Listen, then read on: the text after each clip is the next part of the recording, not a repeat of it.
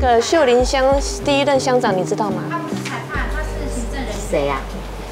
那个乡长的那个历史，可是秀林乡不知道第一任不知道为什么没有，或者不知道是问去问谁哎？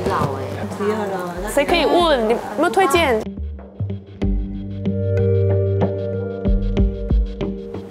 就是在秀林哈，那个第一任乡长不是吗？对，你马林的话，我忘记了。还有谁会知道？这个是要问秀林的人才知道。你有没有听说过那个林明勇哦被枪毙的那个山上哦是在哪里啊？我没有听过枪毙呢，那那个林国人的爸爸他不是被枪毙吗？去外面，去外面玩，我我都没有去外面玩忘记了，我都没有去外听过。面玩。我所记得是他当乡长很好，哪怎么怎么样？好啊，他怎么样很照顾我们那个秀林乡的那个什么村民啊？以前他为什么在山上自杀哦？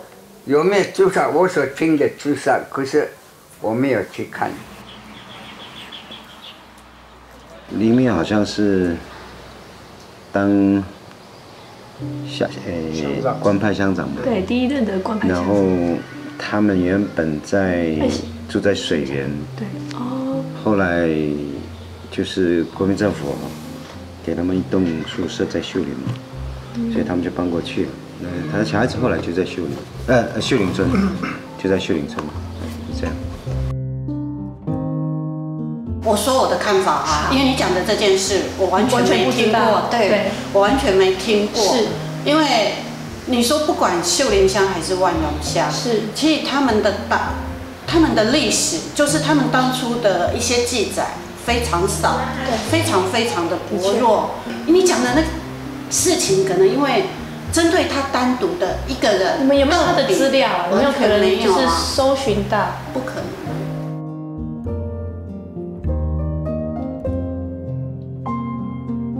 林明勇家就是当时的第一任的乡长是这样来的，那这个乡长都是官派的嘛，是这样，是这样，所以在这种情况之下，安全是第一啊，保密防谍人人有责，所以在这个架构里面有很多人是被牺牲的，有的可能是恶意的啊啊，有的可能是呃政治立场不同，或者说私人恩怨啊，公报私仇，有可能是这样的情况。李明勇就在这种界状况之下，他到底是怎么样原因而被陷害？这个要问他们的后代才比较清楚。